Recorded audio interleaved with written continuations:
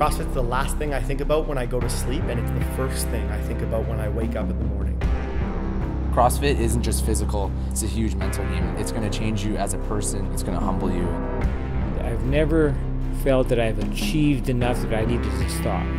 CrossFit has kind of given me the mindset that if I can climb a rope or flip a tire, I can do pretty much anything.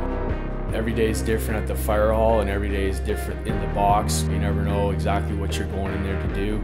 I use teamwork at work. It's teamwork with my kids, it's teamwork with my husband.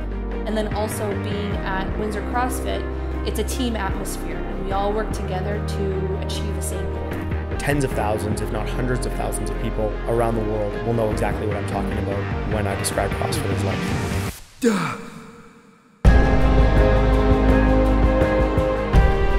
CrossFit's ever changing, so is my job. Every day is a little bit different.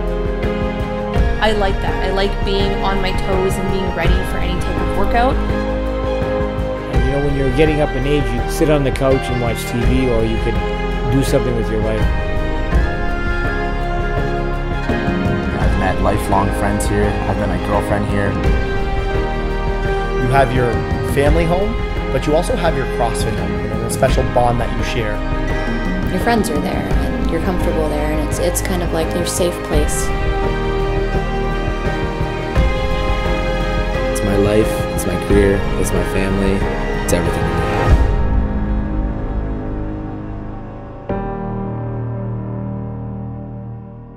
I can honestly say that Windsor CrossFit is the best thing that's ever happened to me.